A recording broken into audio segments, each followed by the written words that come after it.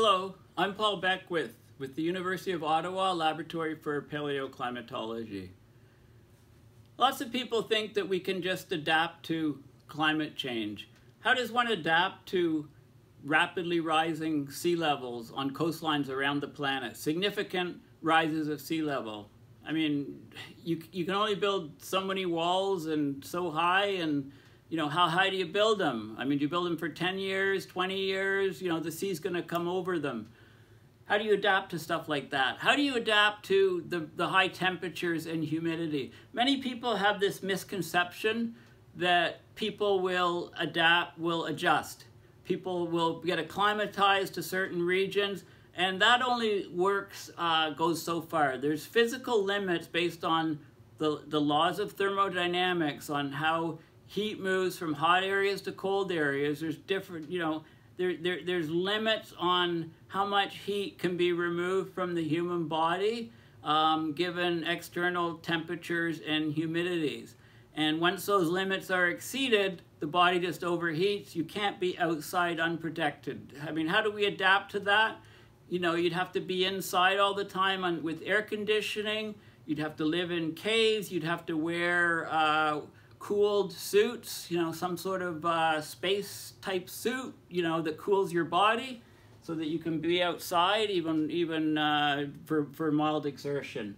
Uh, not, not a very pleasant thought, but that's, I'm just telling you the way things are as I see it. So this is a 2010 paper. This is the best paper I could find on the human, the adaptability limit to climate change due to heat stress for humans. Okay, so here it's often assumed that humans would be able to adapt to any possible warming. But heat stress puts a robust upper limit to such adaptation.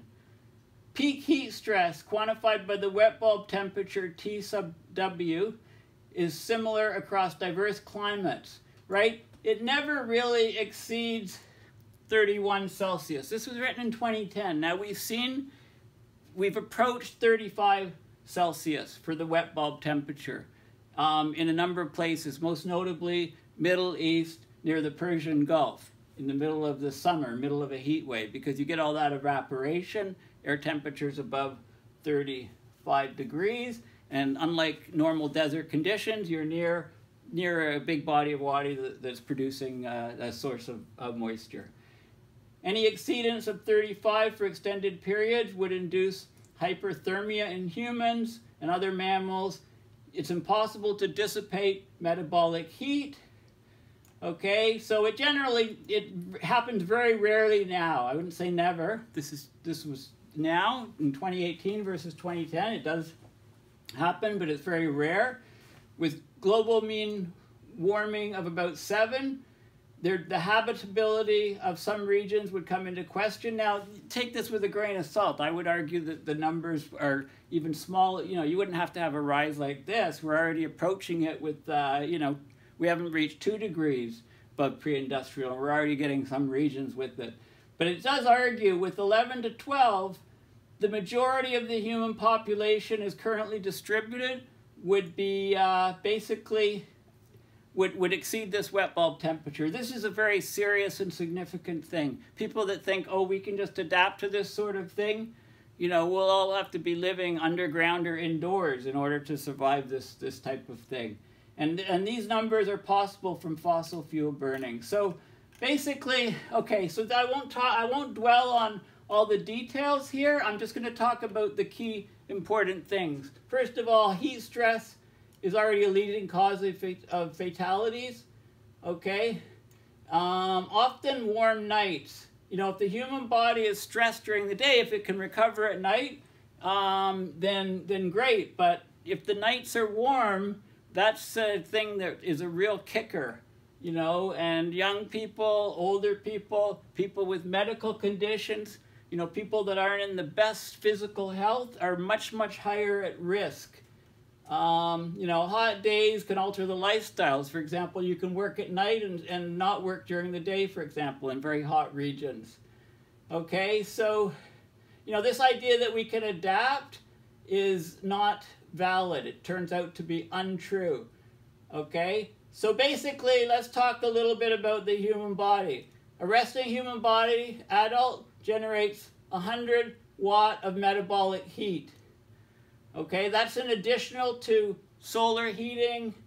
That, that heat must be carried away from the body by conduction, cool, uh, evaporative cooling, which is sweat evaporating, cooling the body, and also net infrared radiative cooling, long wave radiation cooling.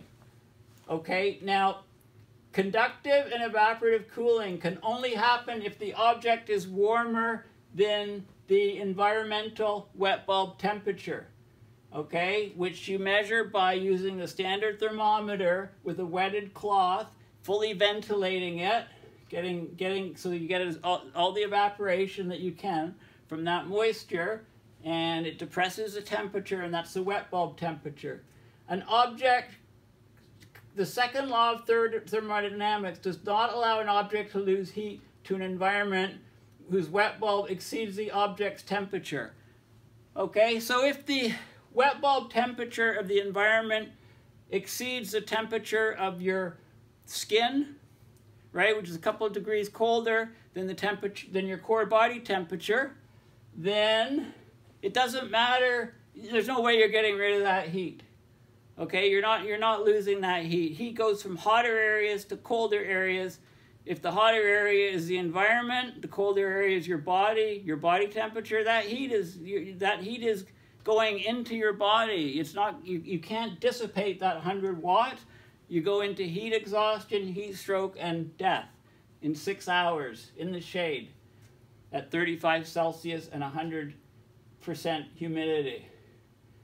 Okay. Um, Okay, so you know there there there's um, you know the body does adapt somewhat. Okay, so there there's some depending on your clothing, activity, acclimatization. Okay, um, I think the blood thickens if it's colder, thins slightly if it's warmer. There's some acclimatization, but there's limits, as I say. You can't violate the second law of thermodynamics. Um, so our humans, our core body temperature is near 37 Celsius, which is 98.6. It varies slightly among individuals, male, female, body weight, body type, um, you know, metabolic rate, age, all kinds of different things. Uh, it varies even a bit during the day, from morning to uh, evening. Okay, it does not adapt to local climate. Okay, we're warm-blooded. Human skin temperature is strongly regulated at 35 Celsius or below under normal conditions. The skin has to be colder than the body core for heat to be conducted to the skin from the body and to dissipate heat. Okay, if the skin temperature is above 35, then the core body temperature will be higher than, well, it'll reach lethal values. 42 to 43 Celsius, your core body temperature, for skin temperatures of 37 to 38 versus uh, the 35, okay? So two or three degree increase of rise in skin temperature and your core body temperature is, is higher and you basically, it doesn't matter how fit and acclimatized you are, you're on your way to dying. So it's intolerable for the wet bulb to be greater than 35. Now, that 35 Okay, so let me show you basically, this is some data showing, okay, so this is uh, from, night this is from 1999 to 2008, this guy here and this guy here. This is just considering land temperature, this is considering an ocean model, and this is what happens with a global mean temperature 10 or 12 degree 12 degrees Celsius warmer 10 degrees Celsius global mean warming okay, relative to the last decade. So what you can see is this is the wet bulb temperature. First of all, the black is the temperature, the blue is the maximum temperature, and the red is the wet bulb temperature. Now what you can see is, and this is a histogram going around the planet, all the different areas, and what you can see is the wet bulb temperature very rarely exceeds 30, 31 in, in today's present climate systems. You know, just land, land, ocean. But this is what happens under climate change. This whole curve shifts, right? And this is at 35 degrees, and large parts of the Earth are above, exceed those conditions, and people can't be outside. Um, and this is showing you the wet bulb temperatures here. So um, the, the yellow from 30 to 35 is the orange to yellows. Doesn't appear much here, you know, not at all really. And then here, look at all these regions here. This is above 30, this is 35 to 40 wet bulb temperature. People couldn't live outside in these regions here, in these vast regions. 30 to 35 is approaching those limits in the oranges to yellows. Okay, and then down here is in the safer zones.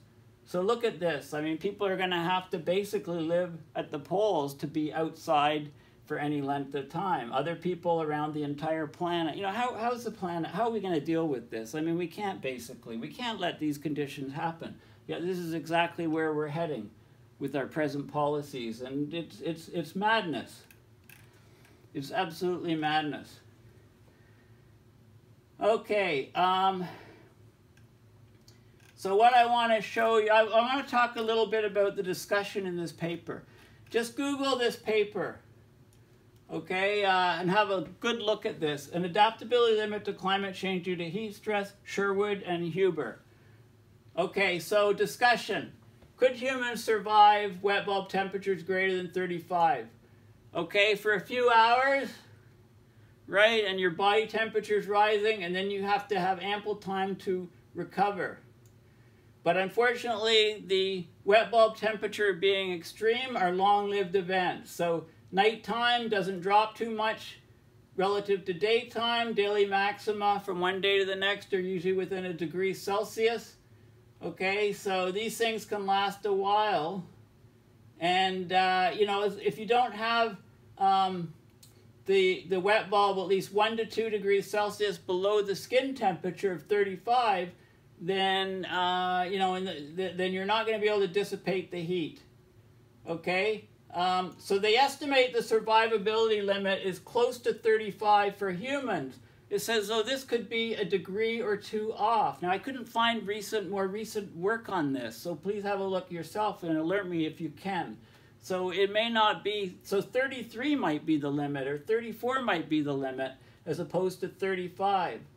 Now, what about other mammals? Okay, other mammals, it depends on their core body temperatures. So mammals have survived past warm climates. Does this contradict the conclusions? Okay, so let's look at the Paleogene. Global mean temperature was about 10 C warmer. Tropical temperature, 5 to 6 degrees C warmer than normal. So the wet bulb would be 36 up to 36, most commonly being 32 to 33, instead of being, you know, 29, with 29 or 30, which is what it is now at, maximum. There'd still be, now mammals have higher body core temperatures in general than humans. We're among the lowest for mammals.